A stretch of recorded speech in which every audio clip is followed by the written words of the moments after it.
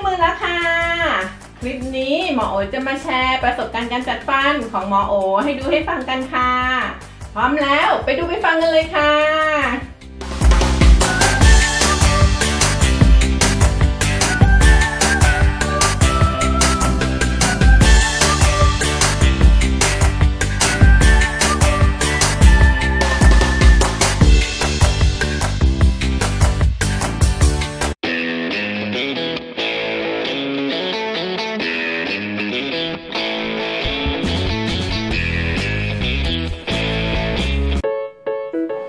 วัสดีค่ะ หมอโอ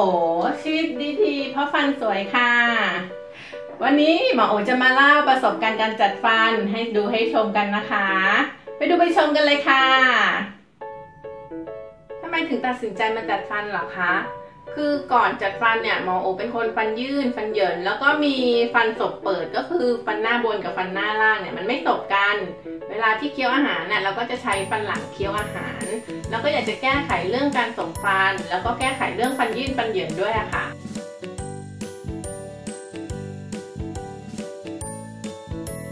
หลังจากจัดฟันแล้ว ฟันที่ยื่นก็ดีขึ้น ก็ดูยื่นน้อยลงอะค่ะ แล้วก็ฟันที่ศพเปิด ก็ลงมา มีการศพฟันที่ดีขึ้น เคี้ยวอาหารได้ดีขึ้นค่ะ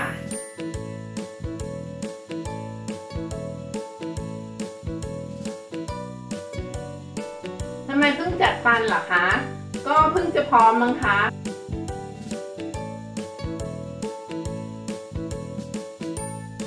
จัดฟันเจ็บไหมก็มีเจ็บบ้างนะคะ จากประสบการณ์ส่วนตัวเนี่ย เจ็บสุดก็คือหลังจากติดเครื่องมือไปแล้วประมาณ 3 ชั่วโมง คือมันจะเริ่มเจ็บเวลากัดอะไรก็จะเจ็บไปหมดเลยค่ะ คือแทบจะกินอะไรไม่ได้เลย มันจะเป็นอย่างนี้ประมาณวันสองวันนะคะแล้วก็จะค่อยๆดีขึ้น ก็จะกลับมากินอาหารได้ตามปกติค่ะ เรื่องแผลในช่องปากหมอโอก็เจอบ้างนะคะ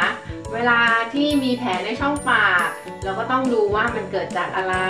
ถ้าเกิดจากลวดทิ่มกระพุ้งแก้มลวดยาวเราก็ต้องไปตัดเลย ไม่ต้องรอให้ถึงนัดครั้งหน้านะคะ เพราะมันจะเป็นแผล เวลาเป็นแผลมันก็จะเจ็บมากเลยค่ะ แต่ถ้าหากว่ามันเกิดจากการระคายเคืองของเครื่องมือกับเนื้อเยื่อกระพุ้งแก้ม เราสามารถใช้แว็กนะคะ เวลาใช้เนี่ยเราก็จะปั้นเป็นกลมๆ แล้วก็แปะตรงตำแหน่งที่มันระคายเคืองอะค่ะ อันเนี้ยช่วยหมอได้หลายครั้งเลยค่ะ ช่วยได้มากเลย เพราะฉะนั้นคนจัดฟันเนี่ยต้องมีไว้นะคะ หมอโอแนะนำให้ซื้อเก็บไว้เลยค่ะ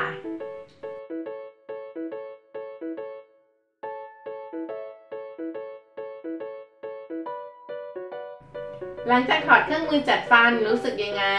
รู้สึกโล่งปากแล้วก็โล่งใจมากๆเลยค่ะ ดีใจมากที่เราจัดฟันเสร็จแล้ว หลังจากถอดเครื่องมือจัดฟันแล้ว เราอยากกินอะไรเราก็กินเลยค่ะ กินได้ตามปกติเลยนะคะ แต่ก็ควรหลีกเลี่ยงอาหารที่แข็งมากๆ หรือเหนียวมากๆนะคะ ซึ่งจะจัดฟันหรือไม่จัดฟันก็ควรที่จะหลีกเลี่ยงอยู่แล้วอะค่ะ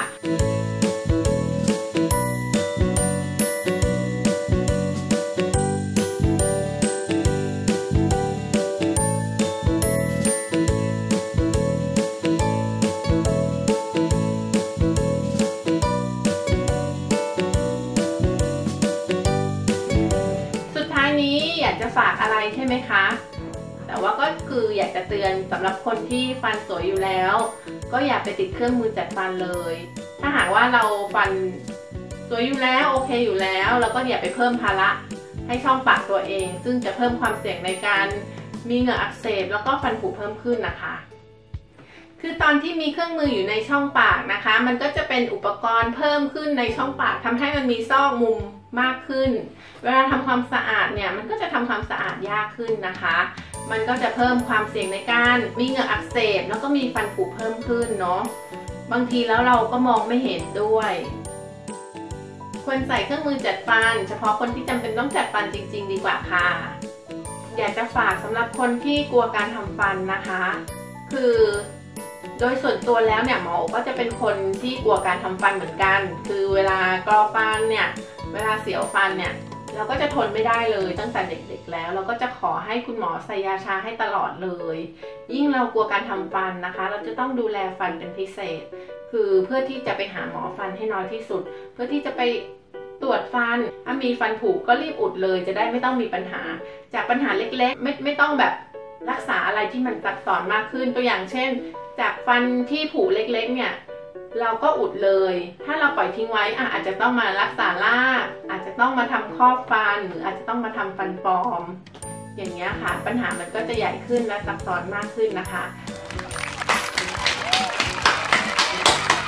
หลังจากที่ดูคลิปนี้แล้ว ใครมีคำถามเพิ่มเติม สามารถฝากคำถามได้ที่คอมเมนต์ด้านล่างนี้เลยค่ะ และสำหรับใครที่ต้องการปรึกษาปัญหาสุขภาพฟันทางไลน์สามารถแอดไลน์ ID Line 0902948898 ตามนี้เลยค่ะ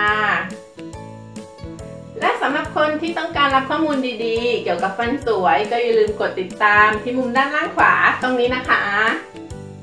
อย่าลืมกดกระดิ่งเพื่อไม่พลาดทุกคลิปของหมอโอนะคะ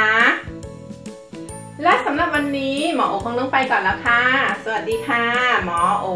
ชีวิตดีๆเพราะฟันสวยค่ะ เจอกันใหม่คลิปหน้านะคะ